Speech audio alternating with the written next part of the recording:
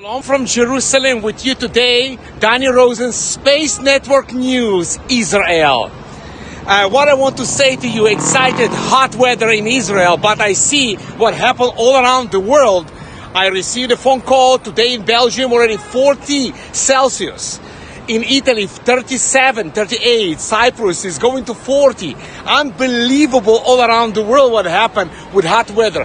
In Israel it's going to 30, it's quite sunshine, beautiful. But why I, I'm with you today online, the very important, we received yesterday the first visitor from Saudi Arabia, very known blogger from Saudi. And he come here to Israel because he's supporter of Israel.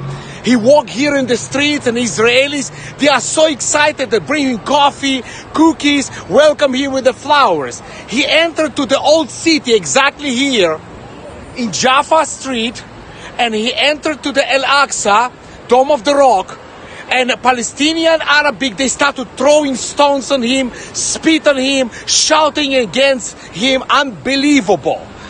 What I want to say, we have tremendous open relationship now with Medina and also Riyadh and Saudi Arabia, Bahrain, and only the problem is the the other part who's supporting Iranian opposition. But it's not very seriously.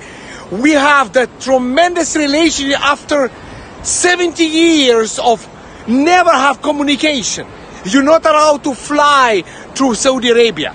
And you come into Saudi, that's in, they check your passport and you come from United States and see the stamp from Israel, you are really be investigated and not really welcome. Now everything totally changed.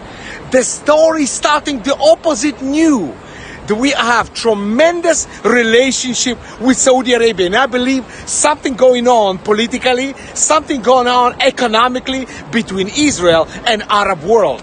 Shalom with you today, Danny Rozen, Space Network News, Israel.